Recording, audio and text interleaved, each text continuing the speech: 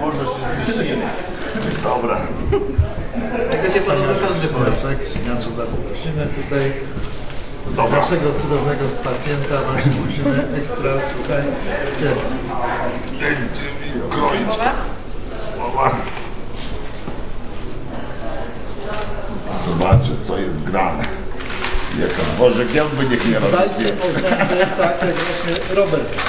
Słuchajcie, Tak, przychodźcie tutaj do nas, róbcie sobie przeglądy i dostajecie super Nie ma tutaj lipy. Cześć, cześć.